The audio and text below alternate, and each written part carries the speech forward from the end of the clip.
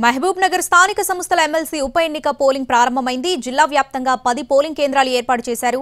పద్నాలుగు వందల ముప్పై తొమ్మిది మంది స్థానిక సంస్థల ప్రజాప్రతినిధులు ఓటు హక్కు వినియోగించుకోనున్నారు. సీఎం రేవంత్ రెడ్డి కొడంగల్లో ఓటు వేయనున్నారు.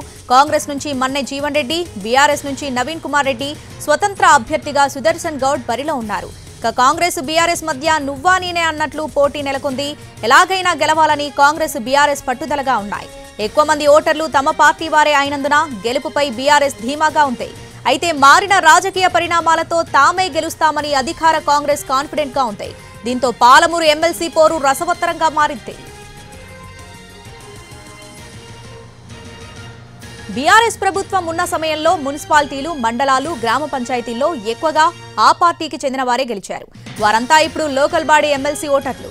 పద్నాలుగు వందల ముప్పై తొమ్మిది మంది ఓటర్లలో ఎక్కువ మంది బీఆర్ఎస్కు చెందిన వారే కావడంతో తమ గెలుపు ఈజీ అని బీఆర్ఎస్ భావిస్తుంది. మరోవైపు రాష్ట్రంలో అధికార పగ్గాలు చేపట్టిన కాంగ్రెస్ ఆపరేషన్ ఆకర్ష్తో అనేక మంది ఎంపీటీసీలు వార్డు కౌన్సిలర్లను తమతో కలుపుకుంటాయి.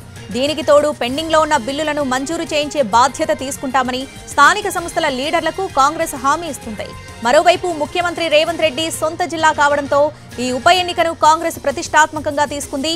పెద్ద ఎత్తున క్రాస్ ఓటింగ్ జరిగి తాము గెలుస్తామనే ధీమాతో ఉంది కాంగ్రెస్.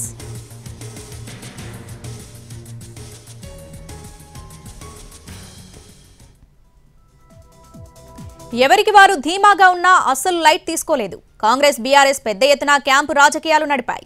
గోవా ఊటీ కొడైకెనాల్ ప్రాంతాల్లో క్యాంపులు పెట్టాయి. ఓటర్లంతా నేరుగా పోలింగ్ స్టేషన్లకు వచ్చేలా ఏర్పాట్లు చేసుకున్నాయి. వారికి మూడు లక్షల నుంచి ఐదు లక్షల రూపాయల వరకు నజరానా ఇస్తామని హామీ ఇచ్చినట్లు తెలుస్తుంది. మొత్తానికి ఎమ్మెల్సీ ఎన్నికను బీఆర్ఎస్ కాంగ్రెస్ అత్యంత ప్రతిష్టాత్మకంగా తీసుకున్నాయి. ఎమ్మెల్సీ గెలిస్తే లోకల్ సభ లోక్సభ ఎన్నికలకు మరింత జోష్లో వెళ్ళొచ్చని లెక్కలేస్తున్నాయి.